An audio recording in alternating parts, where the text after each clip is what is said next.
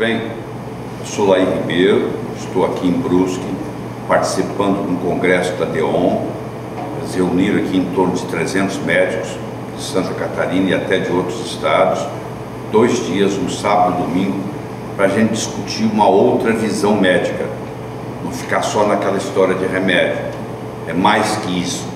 Eu acho que hoje cada um é responsável pela sua própria saúde. Antigamente a gente entregava a responsabilidade da saúde para o médico, achando que o médico podia fazer alguma coisa. E o médico nesse aspecto não pode fazer muito, porque o remédio ele remedia, ele não resolve o problema. O que resolve o problema é você ter uma alimentação adequada, é você ter um estilo de vida apropriado e ter um meio ambiente saudável. É uma trilogia. Se você mora no lugar errado, onde está contaminado, você não tem saúde. Se você come errado, você não tem saúde. Se você fica até as três horas da manhã acordado, não tem saúde. Então você tem que ter uma alimentação adequada, um estilo de vida, um meio ambiente. Isso combinado.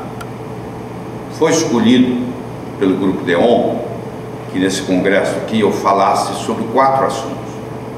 Então eu vou falar sobre diabesidade, que é a combinação de diabetes com obesidade, que é uma das doenças que mais cresce no mundo, infelizmente. Se for desse jeito, daqui um pouco, o Brasil todo vai ser diabético e obeso, que está aumentando exponencialmente. Isso é um problema muito sério. Isso com as consequências, as amputações, as diálises, as hemodiálises e tudo mais, as cegueiras, as pessoas ficam cegas em consequência disso. Você imagina quanta coisa acontece por causa disso. E é uma doença nutricional. Se é uma doença nutricional, a solução não é uma, uma pílula nova que vai aparecer no mercado. Não. É uma mudança de estilo de vida, uma mudança do meio ambiente e, sobretudo, uma mudança de alimentação. Eu também vou falar sobre otimização cerebral. Como é que você melhora a sua capacidade cognitiva, que é outro problema que nós temos no Brasil e no mundo, que é o indivíduo perder a capacidade, perder a cognição. Antigamente, assim, era uma tribo, quem mandava na tribo era o mais velho, havia um respeito pela velhice, pelos mais idosos. Isso tem mudado, porque o mais idoso está cagado. Ele não está falando coisa com coisa mais. Como é que você vai seguir o conselho de um gagá? De uma pessoa que está comprometida, né, com a cognição comprometida. Então o que acontece?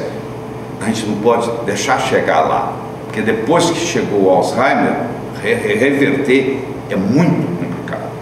Então o que nós temos que fazer? Fazer prevenção. Que nutrientes nós temos que usar para que o nosso cérebro permaneça saudável? Nós vamos discutir isso. Nós vamos discutir sobre a parte hormonal, a modulação hormonal.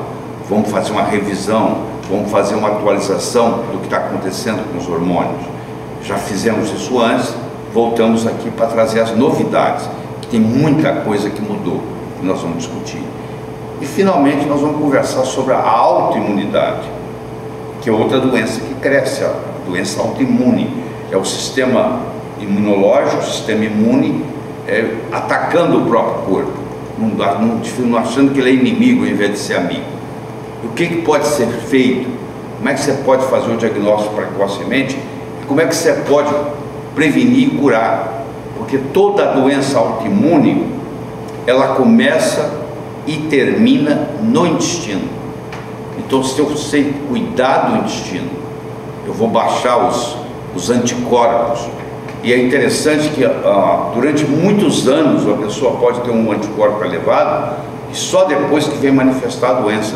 Eles pegaram soldados do Vietnã que tinham sangue guardado lá, porque o militar guarda o sangue, congela o sangue, e esses indivíduos agora, 40 anos depois, desenvolvem lúpus, por exemplo, ou desenvolvem esclerose lateral amiotrófica, e aí eles vão lá no sangue deles, quando eles tinham 20 anos de idade, que está guardado lá no, hospital do quartel da, da, do Exército, e lá já tinha o anticorpo.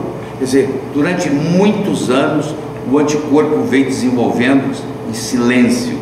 É uma doença silenciosa. Então a detecção precoce desses anticorpos faz toda a diferença.